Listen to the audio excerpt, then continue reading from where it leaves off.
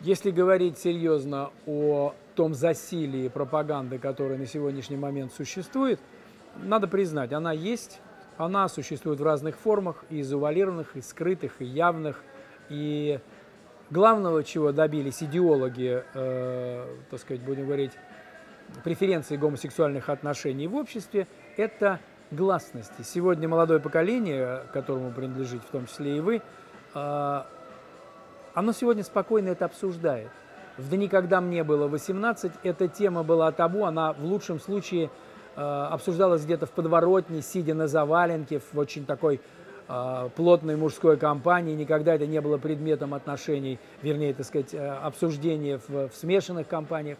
Э, сегодня э, вот люди нетрадиционной ориентации достигли главного – легализация этой темы, к ней подходит очень свободно, спокойно. Следующий этап для них – это возможность э, участвовать в отношениях таких же, какие обычные мужчины и женщины себе позволяют. То есть даже те формы, которые позволяют обычно мужчины и женщины, ну, например, вот сейчас же очень часто можно видеть в лавочке, на лавочке, на скамейке в парке девушку, сидящую на коленях у молодого человека, ну, то ли она его согревает, то ли у нее ноги устали, я уж тут не знаю, но такое часто бывает. Ну, представьте себе теперь точно такая же картинка, э, мужик сидит рядом с мужиком. И это будет, э, ну, пиком пиком достижения для людей, которые в тайне об этом мечтают. Зачем? Я подозреваю, что в этом есть некий глубинный масштабный процесс.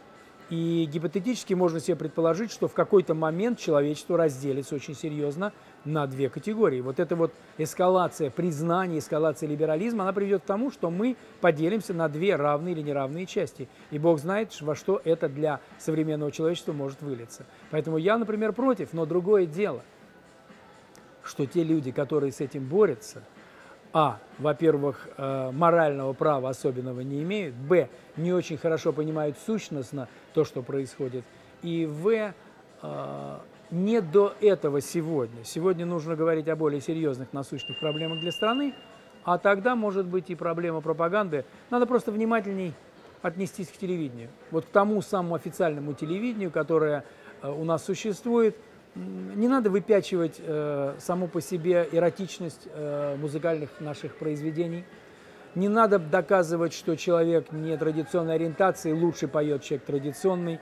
Не надо шутить на эту тему, приучая молодого зрителя в КВН, приучая молодого зрителя к тому, что это обыденная вещь. Нельзя мириться с тем, что две пятиклассницы, сидя у себя в школе за партой, говорят «не дружи с Петькой, потому что он голубой».